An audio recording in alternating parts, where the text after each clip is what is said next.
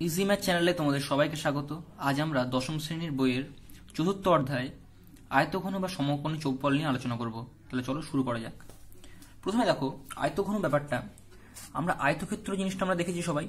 আয়তক্ষেত্র হচ্ছে যার দুটো মাত্রা মানে দৈর্ঘ্য আর প্রস্থ আছে। এটা একটা আয়তক্ষেত্র। তাই তো? এটাকে বলা হয় দৈর্ঘ্য আর এটাকে বলে প্রস্থ।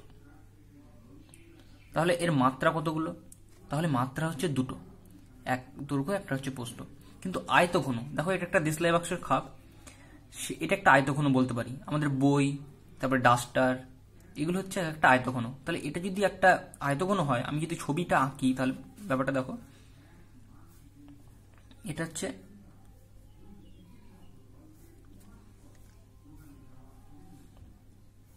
এটা একটা আয়তঘন ছবি। দেখো আয়তক্ষেত্রে কি ছিল? আয়তক্ষেত্র ছিল দুটো জিনিস। আয়তক্ষেত্রে ছিল আয়তক্ষেত্রে ছিল দুটো মাত্রা দৈর্ঘ্য আর কিন্তু দেখো, এই আয়তঘনে তিনটে জিনিস চলে এলো। একটা দৈর্ঘ্য ছিল নিচে দৈর্ঘ্য এটা। এটা হচ্ছে প্রস্থ। কিন্তু তার সঙ্গে সঙ্গে এখানে উচ্চতা চলে এসছে। তাহলে আমরা যদি আয়তঘনের মাত্রা দেখি, দেখো আয়তঘনের মাত্রা যদি দেখি, তাহলে কটা মাত্রা? মাত্রা হবে তিনটে মাত্রা। মাত্রা হচ্ছে তিন। কি কি? এই দৈর্ঘ্য, এটা হচ্ছে দৈর্ঘ্য, এটা হচ্ছে প্রস্থ, আর এটা হচ্ছে উচ্চতা।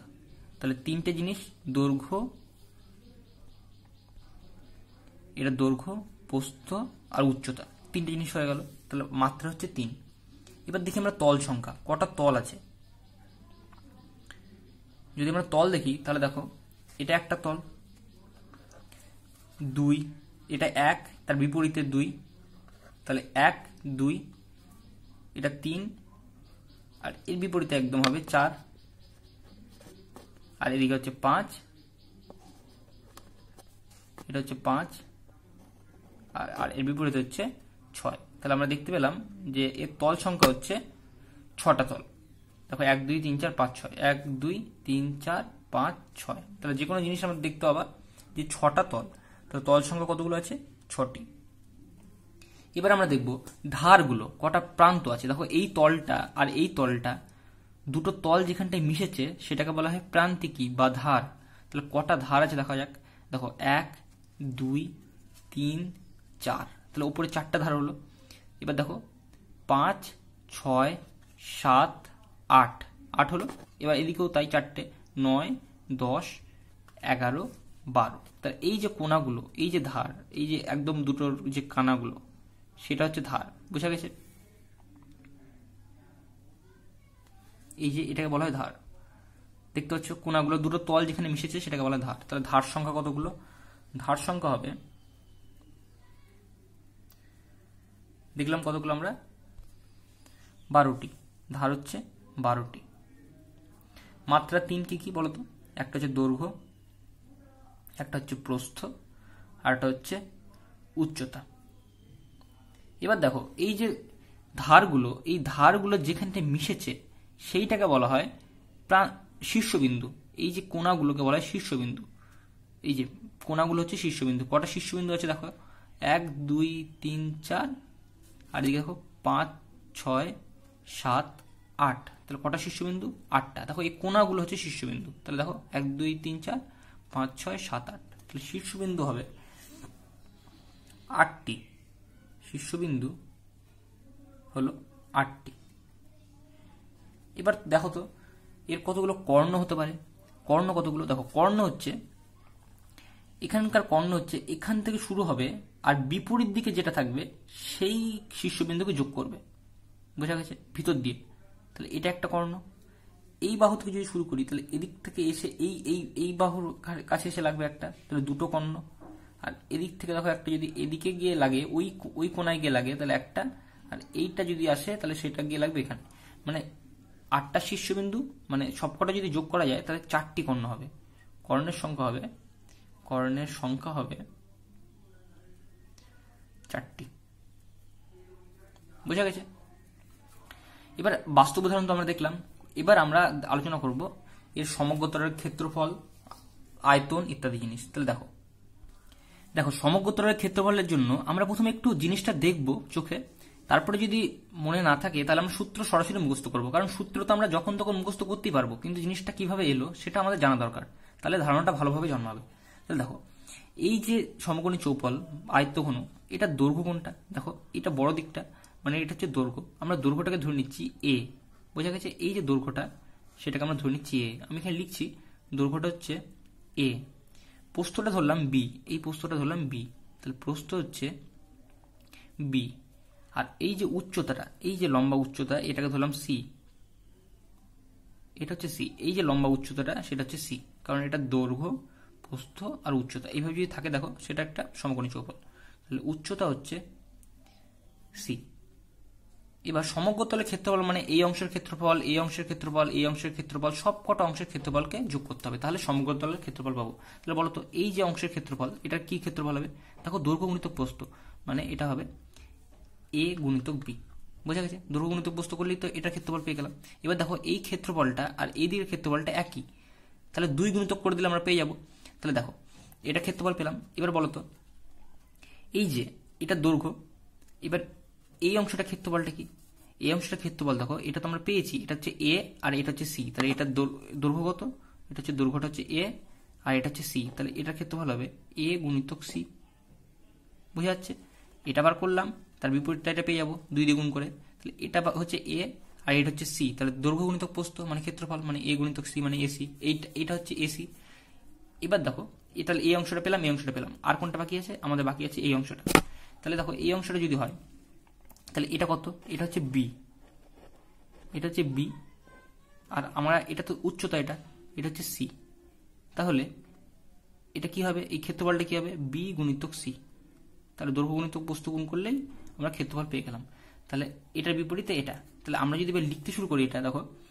তাহলে সবই তো ডবল করে আছে। এটা ডবল আছে, এদিকে আছে, এদিকে একটা আছে, এদিকে ডবল আছে, সবগুলো সমান। তাহলে দুই গুণিতক কি কি আছে? দেখো, প্রথমে এইট এইটুকুনি লিখি। এ গুণিতক বি হলো? তাহলে এই অংশটা পেয়ে গেলাম। যোগ, এবার দেখব আমরা এই অংশটা দেখো দৈর্ঘ্য গুণিতক উচ্চতম।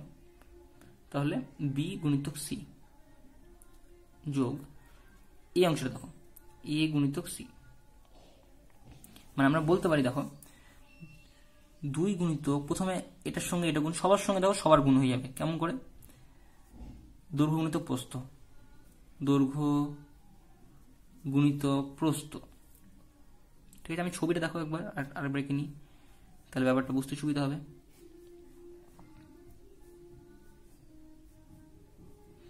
দৈর্ঘ্য গুণিত প্রস্থ যখন আমরা করলাম, এই যে দৈর্ঘ্য এটা, প্রস্থ হচ্ছে বি তাহলে যখনই এই মাটিটা পেয়ে গেলাম আমরা। ঠিক আছে? তাহলে দৈর্ঘ্য গুণিত বস্তু দুইটা বাদ দেওয়া না বুঝতে পারলে দেখো। এই গুণিত দৈর্ঘ্য গুণিত বস্তু করলাম, তাহলে এই গুণিতক বি হয়ে গেল। এবার আমরা করব কোনটুকুনি? বি গুণিতক সি মানে এটা বি আর এটা সি এই লম্বা এগুলো সবই উচ্চতা, ঠিক আছে? এগুলো সবই উচ্চতা, এটা উচ্চতা সি এটা হ্যাঁ? তাহলে বি গুণিতক সি মানে এই অংশটা পেয়ে গেলাম। তাহলে প্রস্থ গুণিতক উচ্চতা তখন এটার সঙ্গে এটা গুণ হলো, এটার সঙ্গে এটা গুণ হবে। তাহলে প্রস্থ গুণিতক উচ্চতা, হয়েছে? এবার দেখো, এবার আমরা এই অংশটা বার করব। এই ধারটা, এই যে, এই এই দিকটা, বুঝতে পারছ? এটা এই দিকটা, তার বিপরীত দিকটা হচ্ছে ওইটা, বুঝে যাচ্ছে? তাহলে আমরা এটা কি? এইটা তো পেয়েছি আমরা এ মানে এটা হচ্ছে দৈর্ঘ্য গুণিতক উচ্চতা। তাহলে এ গুণিতক সি, এ গুণিতক বি বি গুণিতক সি, আর এ গুণিতক সি। তাহলে আমরা পেয়ে গেলাম এটা যদি সংক্ষিপ্ত আকারে লিখি, টু গুণিতক এ বি যোগ বি সি যোগ সি এ। এটাই আমরা মুখস্থ করব, এই জিনিসটা আমরা মুখস্থ করব, যে two into A B B C C A, দুই গুণিতক এ বি যোগ বি সি যোগ সি এ, তাহলে হয়ে যাবে আমাদের সমগ্রতলের ক্ষেত্রফল। বোঝা গেছে? এবার দেখো, আমরা এই সূত্রটা কাজে লাগিয়ে একটা অঙ্ক কীভাবে করে নিই? একটি আয়তঘনকার বাক্সের দৈর্ঘ্য হচ্ছে চার মিটার, প্রস্থ দু মিটার, আর উচ্চতা হচ্ছে তিন মিটার। তাহলে সমগ্র তলের ক্ষেত্রফল কত? আমরা দেখলাম সমগ্র তলের ক্ষেত্রফল বার করতে গেলে দুই গুণিতক এ বি বিসি সি এই সূত্রটা ব্যবহার করতে পারি। তাহলে সমগ্র তলের ক্ষেত্রফল যখনই বলবে, তখনই লিখে নেবা দুই গুণিতক এ বি যোগ বিসি যোগ সি এ এবার এখানে এ কি? এ মানে হচ্ছে দৈর্ঘ্য। এ সমান লিখে দিলে দৈর্ঘ্য। বি মানে লিখলে প্রস্থ। আর সি মানে লিখলে উচ্চতা। তাহলে এর মানটা যদি আমরা বসাই, এ কত? এ হচ্ছে চার, এটা হচ্ছে এ, এটা বি, এটা হচ্ছে সি। তাহলে এ, বি বিসি আর সি এ। এটার সঙ্গে এটা গুণ বিসি আর সি এ, ঠিক আছে?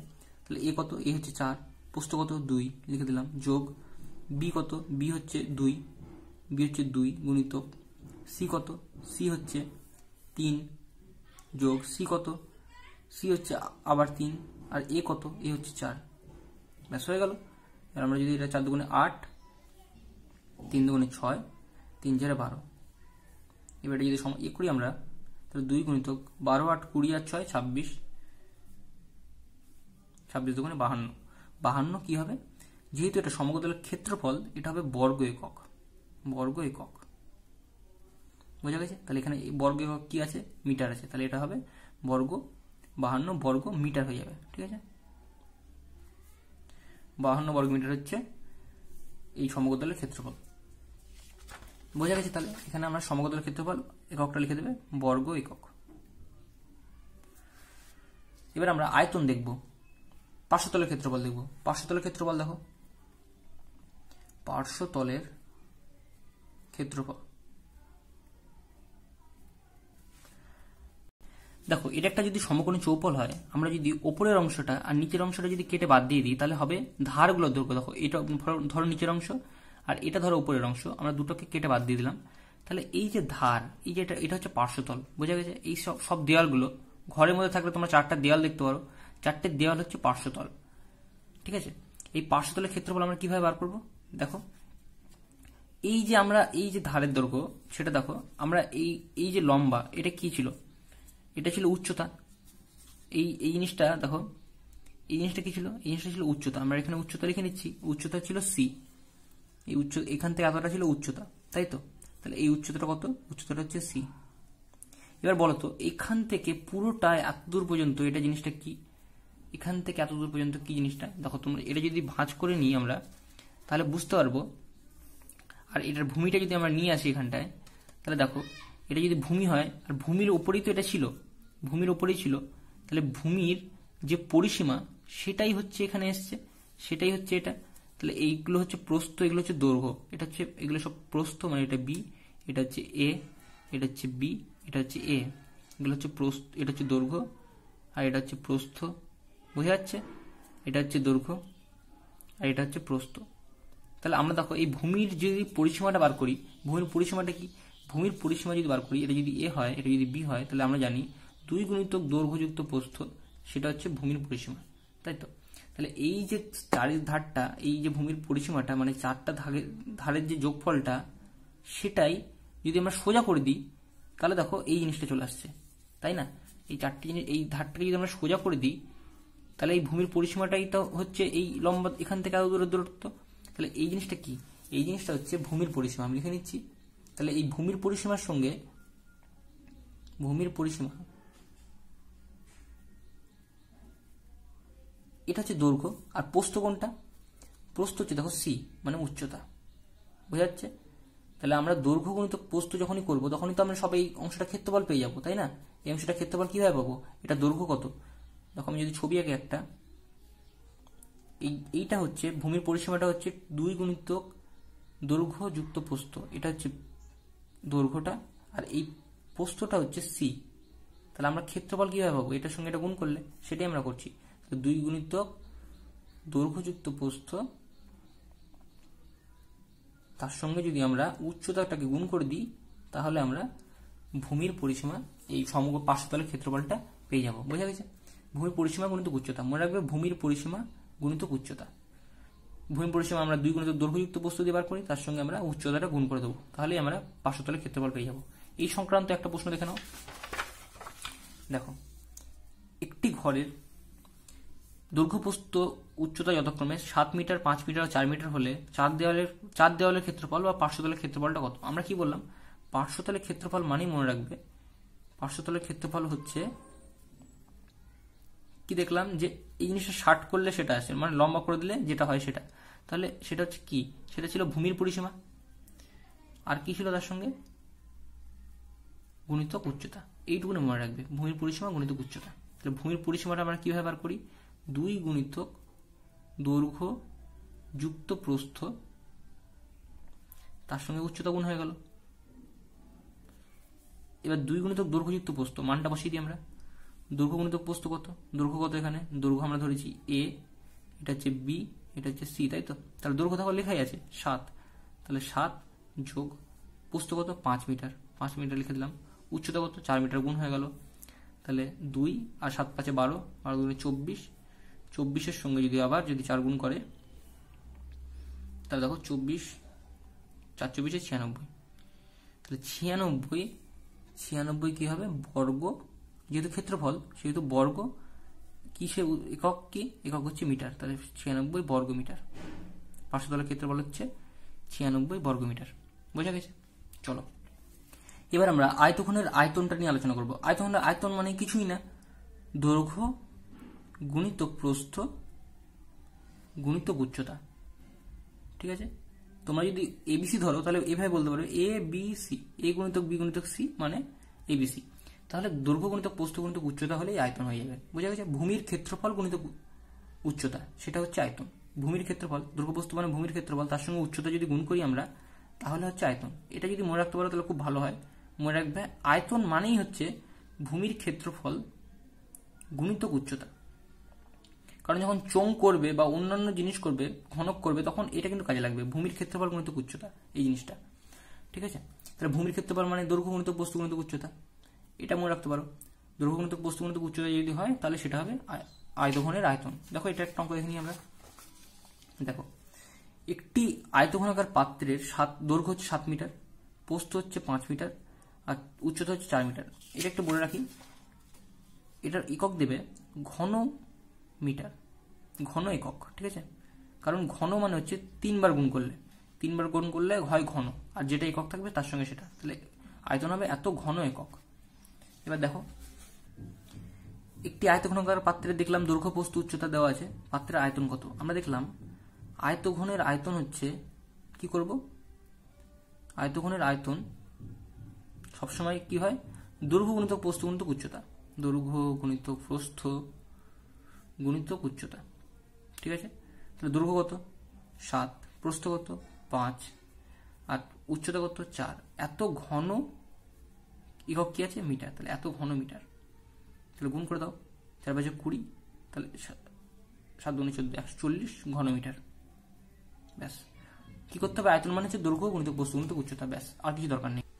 এবার দেখব আমরা আয়তঘনের কর্ণের দৈর্ঘ্য। কর্ণের দৈর্ঘ্য যখনই বলবে, তখন লিখবে রুট ওভার দেবে।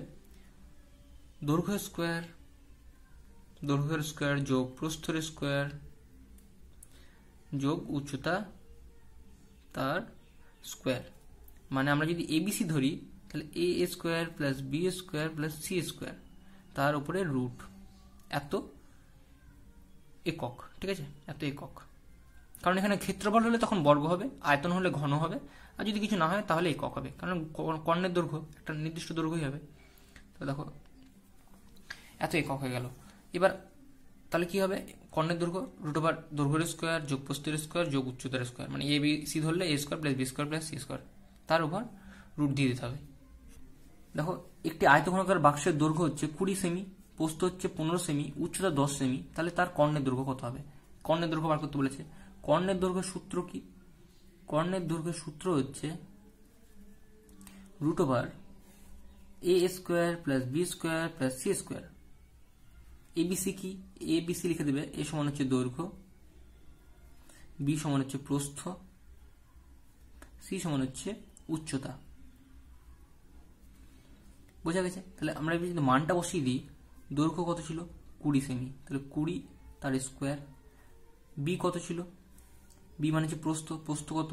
পনেরো, তার স্কোয়ার সি কত? সি হচ্ছে দশ, তার স্কোয়ার এবার আমরা যদি এটা সমাধান করি, কুড়ি কুড়ি চারশো, পনেরো পনেরো দুশো পঁচিশ, দশ দশে একশো। চারশো, ছশো, সাতশো সাতশো পঁচিশ।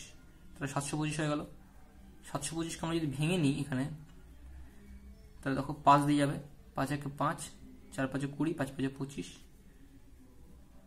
পাঁচ গুণে দশ, পাঁচ নয় পঁয়তাল্লিশ তাহলে সাতশো পঁচিশকে ভাঙলে হবে পাঁচ গুণিত পাঁচ গুণিত উনত্রিশ। এবার যখন আমরা বর্গমূল করি, দুটো থেকে একটা জিনিস আসে। তাহলে দুটো পাঁচ থেকে একটা পাঁচ বাইরে চলে এলো, কিন্তু উনত্রিশের কিছু নাই জোড়া নাই, এই জন্য বেরোতে পারল না। তাহলে পাঁচ রুট ওভার উনত্রিশ। এত কি হবে? সেমি, ঠিক আছে? কারণ এখানে তো ক্ষেত্রফল নেই, যে বর্গ সেমি লিখব আমি, বা আয়তন নেই, যে ঘন সেমি লিখব, শুধু সেমি, দৈর্ঘ্য তো সেমিতেই মাপি আমরা। ব্যাস, তাহলে এত একক হয়ে গেল। বোঝা গেছে তাহলে? তাহলে এই পর্যন্ত আজকে থাকল। এর পরের দিন আমরা ঘনক নিয়ে আলোচনা করব, ঘনকের সূত্রগুলো নিয়ে আলোচনা করব। তারপরে আমরা অনুশীলনীর অঙ্কগুলো যেগুলো আছে, কোষে দেখি অঙ্ক, সেগুলো নিয়ে আলোচনা করব।